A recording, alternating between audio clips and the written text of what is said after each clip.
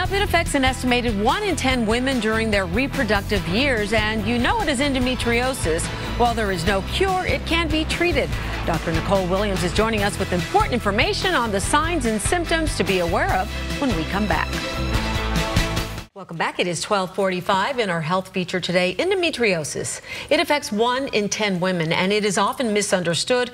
And though there is no cure, women need to know it can be treated effectively with drugs and sometimes surgery. So we are joined by Dr. Nicole Williams from the Gynecology Institute of Chicago. Welcome back, Doctor. Nice to see Thank you. Thank you so much. So let's just start with, uh, we've known about endometriosis for years mm -hmm. now, but where are we? What's the latest advancement in this? We have a few really great great and wonderful brand new things out. There's a new medication that is a hormone blocker.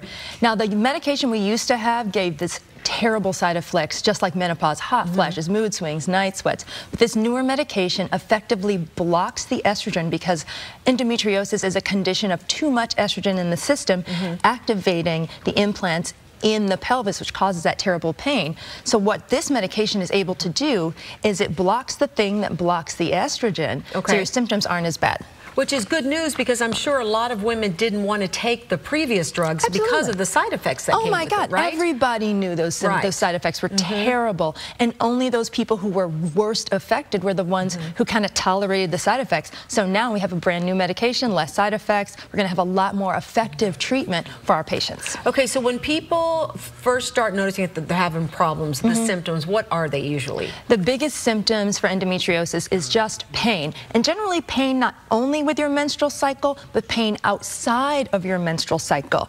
And another thing I've noticed is I have young patients who have really, really severe, debilitating, knock right. you off your feet mm -hmm. cramps. Mm -hmm. I really believe that those patients are probably at a higher risk for developing endometriosis later on in life. So it's painful menstrual cramps. Really bad painful menstrual cramps, pain outside of menstruation, painful sex, and then sometimes ovarian cyst formation. You'll also see on there uh, infertility, uh -huh. diarrhea, constipation, bloating, nausea. These are all symptoms, of course, with menstruation.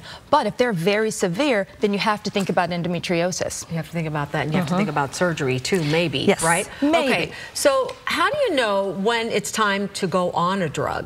So, because say, say yeah. you have a young daughter mm -hmm. who you just described yeah. has, you know, at what point do you realize, okay, I need to do more than just give her an Advil?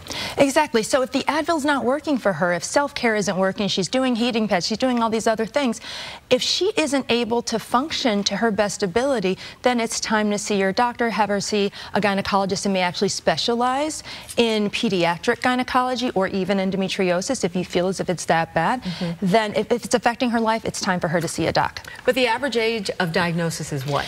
In your 30s and mm -hmm. even late thir mid to late 30s, early 40s. Mm -hmm. But patients have been suffering for years right. and years and years, and they've been told it's just cramps and they'll try something, but it's really endometriosis, and they don't get diagnosed until later on when they're maybe trying to have a baby, and we find out that up to 50% of women who are suffering from infertility actually have endometriosis. Wow. So they've been suffering for years and mm -hmm. just mm-hmm. thinking, oh, this is what happens once a month for me. Exactly. I, am bedridden for a week or whatever, but that's not normal. So you're saying if that's you're having those experiences, step in and go see a doctor and do something about exactly. it. Exactly. Step in and go see a doctor. And mm -hmm. of mm-hmm. course, this is Endometriosis Awareness. Month. So if you go online, and there's um, Worldwide Endo March. There's going to be a march on the 28th of, of, of this month, okay. starting at the Palmer House Hilton. So look it up. Okay. Women banding together to try Absolutely. to find a, a cure for this, right? Hopefully. Right. Okay. Thanks so much, Doctor. Thank Always you. great to have you, and Thank we appreciate you. it.